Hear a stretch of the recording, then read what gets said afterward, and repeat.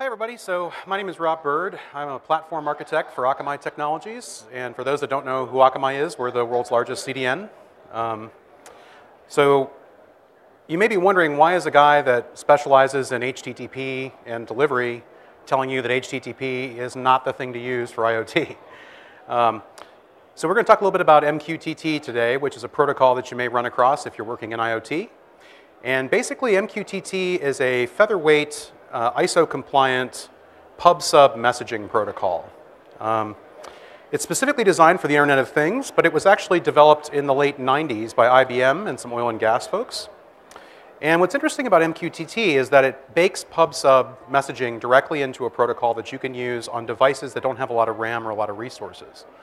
So if you're not, if you're not, if you're not familiar with pub/sub messaging, what is it exactly? Well, basically, it's a way for publishers and subscribers to talk to each other without having to know each other's addresses or specific details like their ports.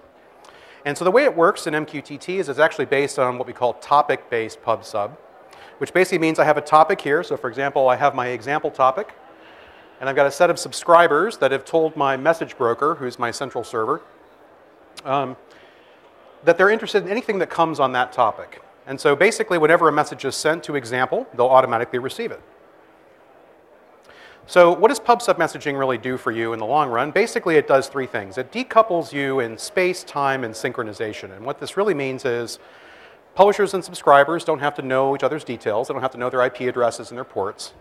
Um, they don't have to be online or active uh, at the same time. So you can have a device that's temporarily offline.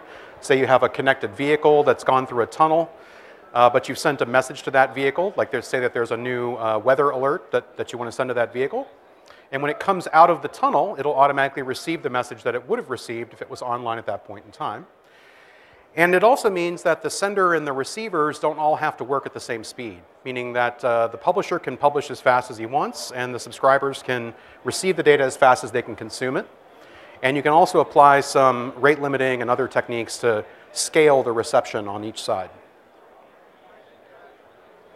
So let's just go over a couple of the basics of MQTT. You know, first and foremost, it's a very lightweight protocol itself. It really can't get much simpler than MQTT in practice. It's a tiny little 8-byte header, and the rest is just payload. And the payload is effectively arbitrary. Um, it's specifically really designed for low-power devices and things that may only be running on battery. It's what they call PRAM consistent, which basically means that it guarantees ordering per publisher as each message is actually sent. And that's maintained across even a distributed set of brokers. So if you have a large network of brokers with millions of devices connecting into those brokers, it can maintain the ordering of all of those different things without a, a necessary um, uh, direct attachment to the transport layer. It does support multiple transports, TLS, TCP, and WebSockets. And in the upcoming version of MQTT5, there's going to be another set of transports included in that. It's pretty flexible. It'll support pretty large message sizes, up to 256 megabytes in size. And interestingly enough, the topics themselves can be used as implicit key value storage.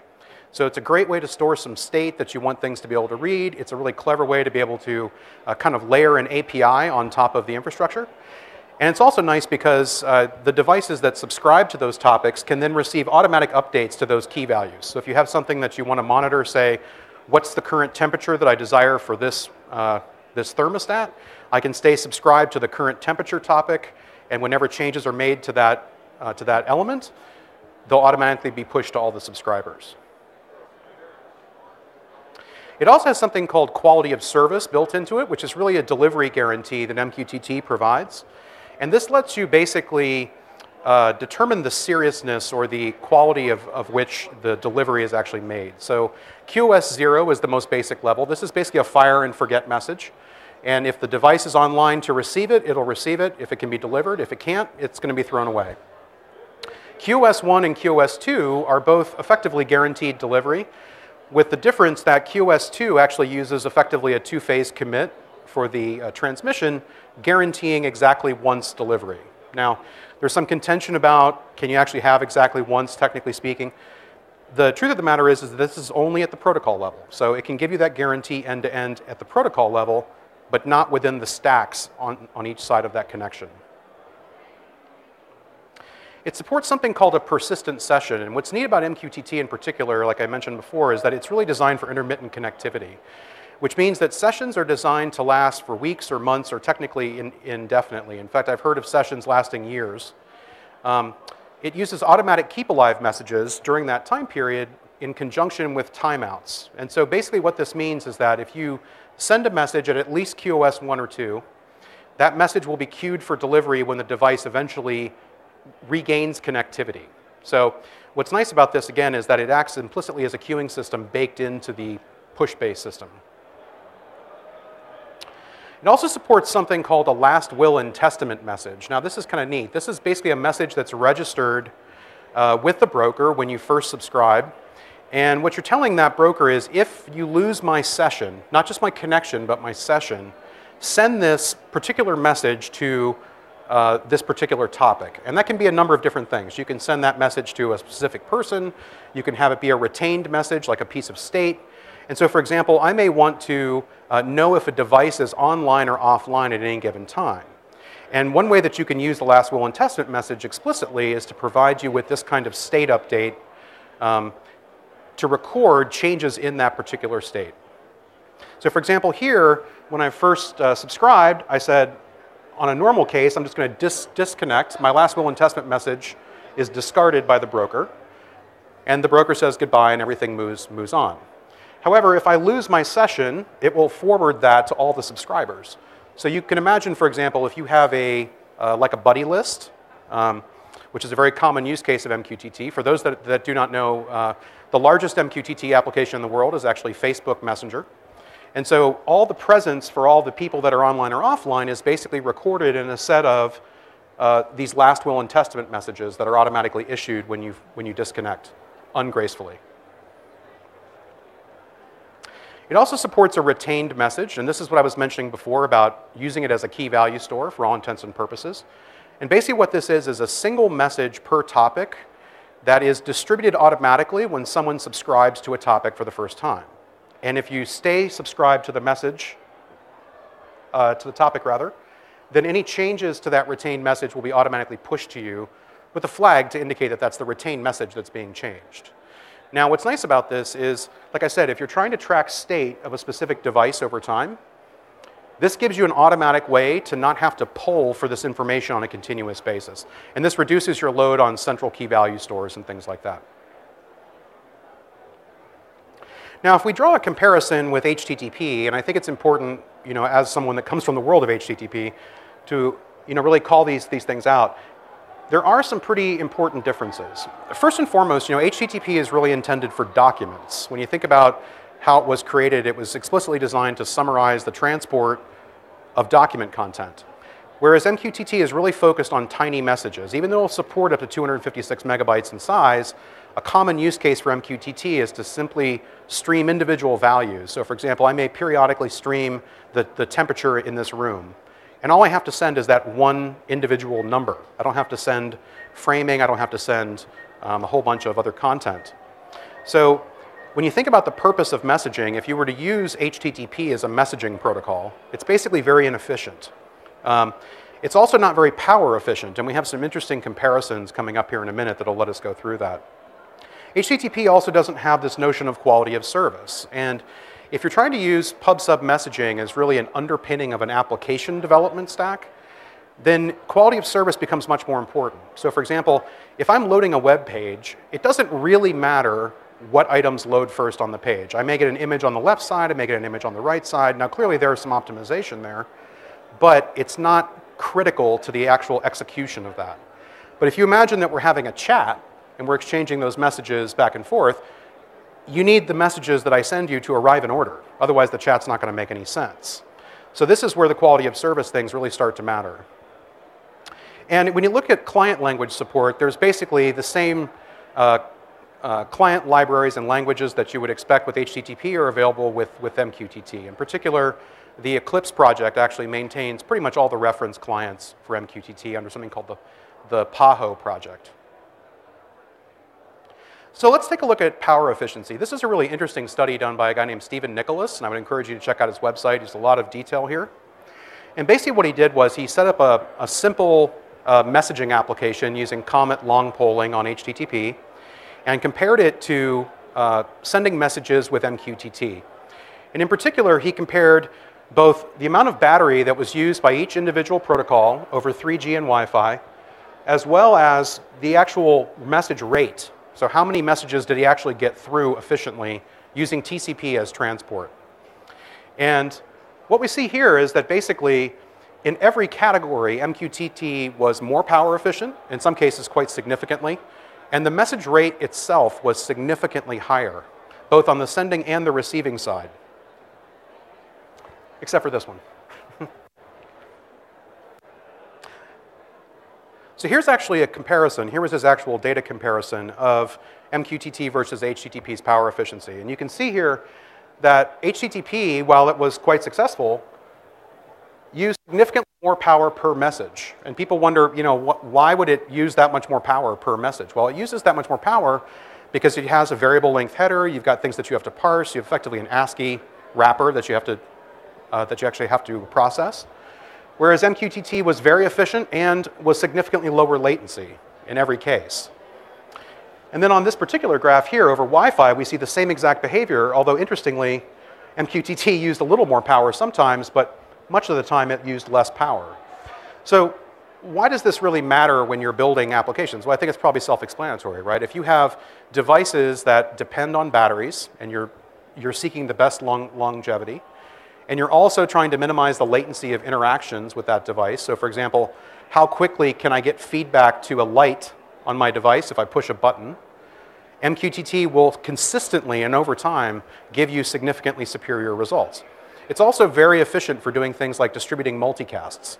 So for example, if you wanted to uh, send a message to a thousand clients with HTTP as quote the publisher, you're really going to send that a thousand times, right? You're not going to send it one time. And with MQTT, the, the, the pub sub metaphor basically permits you to have efficient multicast and broadcast at scale without really any limitation on uh, the individual publisher's ability to fan out or even track the state of all the things that might be interested. So, it was pretty quick, right? so, do you guys have any questions about MQTT?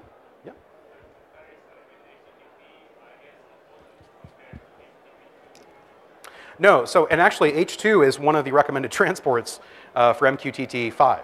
Um, so there's clearly a convergence, and H2 is much more efficient uh, than HTTP. Um, and what I think we're really seeing here is this is, you know, you, you can kind of think of MQTT as, uh, as an application kind of embedded into the protocol, right?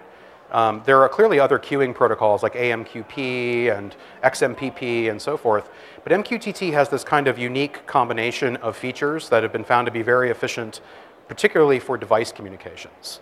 Um, but to your point, expect there to be significant interest in H2 over time, and expect, uh, we expect people to use H2 as a transport for MQTT in the future as a way to, uh, to, to achieve efficient pub sub.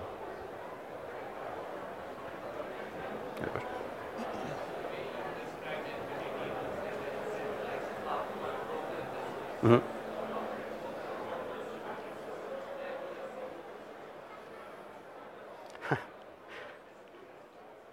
yeah, so it can be distributed very easily, actually, and it, it comes down to basically um, that particular consistency guarantee that's provided for per publisher, that PRAM consistency guarantee. So really, if you think about building a big distributed queue, what you need is for your, say, your key value store to support PRAM consistency. MQTT has a lot of little subtle details in it that make that possible. Um, you know, it's very easy to get that wrong. Uh, one of the particular details is something called session takeover. So for example, if you connect with your ID and then you connect again with another device but with the same ID, the session actually has to transfer literally mid-delivery stream to the second device.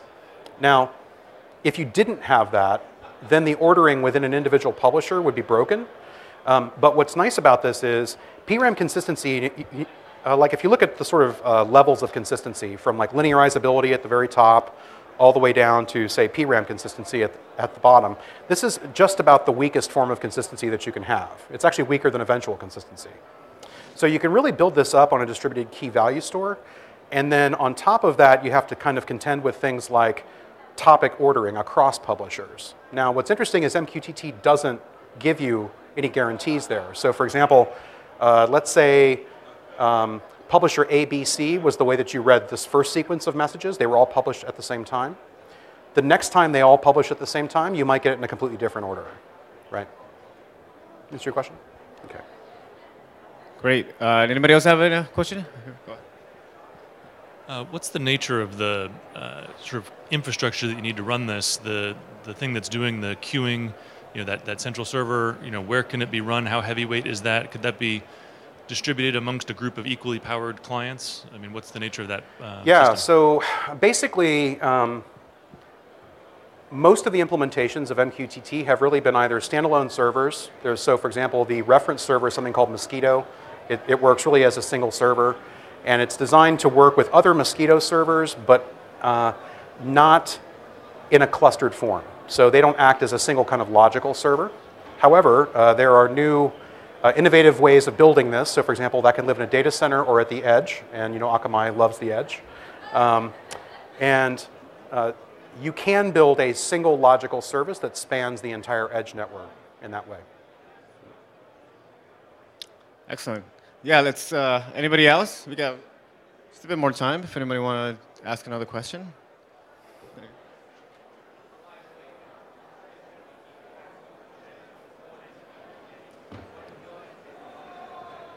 Yeah, so Akamai is really focused on, you know, if you go back to our roots, we're really focused on trying to make a single website that was spread out over thousands or you know, hundreds of thousands of servers look and feel like it was one logical service. And so there's a lot of expertise that kind of goes in that area. And we've recognized MQTT as being a very critical protocol to the future of the Internet of Things. And it, quite frankly, builds off very naturally the technologies that we have for our existing HTTP edge. So we do have some future plans in this area. I can't be too specific at this point, but um, you can probably guess where we're going with this. For anybody else?